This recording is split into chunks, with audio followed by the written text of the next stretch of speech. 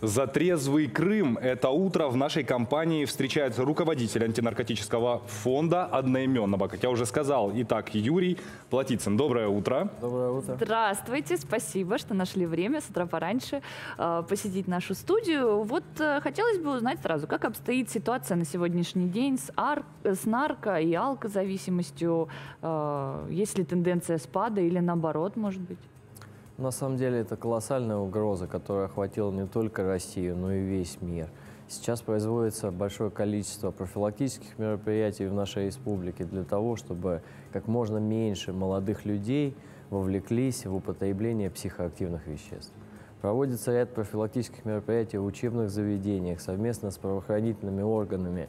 Ведется противодействие распространению наркомании и, соответственно, проводится комплекс э, реабилитации уже для тех людей, которые попали в зависимость. В Симферополе, в Севастополе существуют реабилитационные центры «За трезвый Крым», где трудятся настоящие профессионалы, специалисты для того, чтобы вернуть к жизни тех людей, которые попали в руки зависимости, наркомании либо алкоголизма. Но и по итогам хотелось бы узнать, э, если есть такие центры, где могут оказать помощь, насколько эта помощь эффективна? Но в прошлом году порядка 150 человек обратилось за помощью, порядка 80 прошли полный курс и теперь живут счастливой жизнью. А после этого э, есть для них какие-то программы по развитию в обществе потом дальше? Потому что очень сложно э, после таких э, жизненных ситуаций войти полноценным человеком в современный мир. Это важный вопрос, потому что не каждый человек готов взять к себе на работу бывшего зависимого. Этих людей начинает социум отвергать, они чувствуют дискомфорт. Специально для этого совместно с администрацией города Симферополя мы реализуем проект «Социальный лифт». С помощью коуч-тренеров, с помощью специалистов, психологов мы помогаем этим людям адаптироваться в социуме, помогаем с трудоустройством последующим и обучением. И есть ли уже какие-то цифры? То есть, допустим, там 70 человек, 100 человек? Порядка 40 человек в прошлом году были трудоустроены.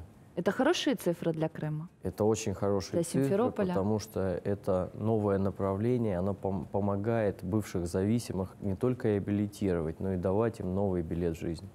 Давайте поговорим о самом фонде, как давно он действует на территории полуострова. Э, На территории полуострова он э, стал работать в 2014 году и своей деятельностью не только зарекомендовал себя на полуострове, но и во всей Российской Федерации. Мы представляли нашу республику на международном антинаркотическом форуме «Парламентарии против наркотиков» под эгидой ООН, который проходил в Государственной Думе. И неоднократно уже получаем благодарности от всех уровней правоохранительных органов за нашу антинаркотическую деятельность. Есть ли у вас какие-то планы на будущее развитие, что хочется достигнуть, э, какие-то цели ставите перед собой? Да, мы хотим охватить весь Крым, потому что эта проблема глобальна, и она не только в основных городах.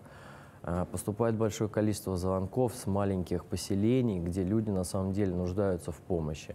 Также мы хотим увеличить профилактическую деятельность на территории нашего полуострова, охватить как можно больше подростков. Мы проводим совместно с Министерством спорта а, профилактические турниры «Я выбираю жизнь», где помимо того, что ребята играют в футбол, они еще получают нужную информацию о вреде наркотиков, алкоголя, ну и в дружественной обстановке понимают, что есть другая жизнь без употребления. Огромное дело делаете, потому что действительно дети увидят, поймут, что это не нужно, можно и без этого обходиться. Тогда, может быть, и рано или поздно проблема сама себя исчерпает. Но я думаю, что как минимум надеяться на это нужно. Совершенно верно. Мы прилагаем максимум усилий для того, чтобы будущее поколение не пострадало из-за вовлечения в употребление. Э, Хорошо. Э, Говоря о других городах полуострова, э, какие вы подразумеваете? Быть может, есть мысли, скажем, в Керчи, либо в Евпатории открыть подобные учреждения? Думаем все-таки ближе зависимому человеку проходить курс реабилитации на побережье. Возможно, это будет Евпатория, возможно, это будет Ялта, возможно, это будет Алушта, но представительства фонда, они необходимы и в других городах.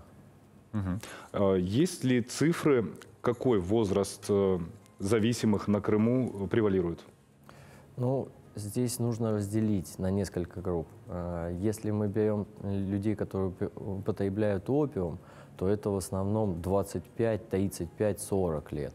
Если сейчас новые синтетические наркотики, соли, спайсы, то это в основном молодежь.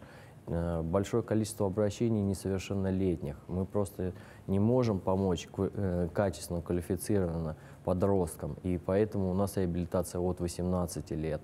Но всех родителей мы приглашаем на группы созависимых, и мы еженедельно работаем с родственниками.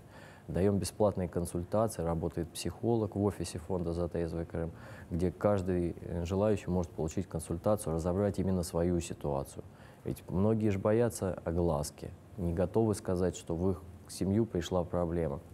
Поэтому можно обращаться, получить качественную консультацию и разобраться со своей проблемой. Кстати, Юрий, а волонтеры помогают приобщены к делу? Совершенно верно. У нас э, сейчас порядка 80 участников реабилитационного фонда.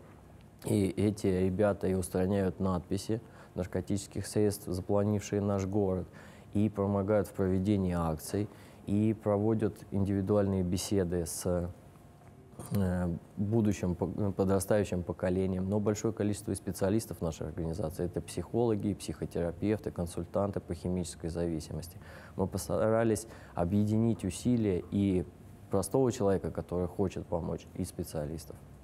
Ну, это заслуживает только похвалы. Огромное вам спасибо, Юрий, за то, что это утро встречаете в нашей компании. Ну, а нашим телезрителям хочу напомнить, что сегодня с нами был Юрий Платицын, руководитель и э, нар- антинаркотического фонда «За трезвый Крым». Ну, а наш эфир продолжается. И прямо сейчас давайте посмотрим, что может быть гораздо лучшей альтернативой вредным привычкам.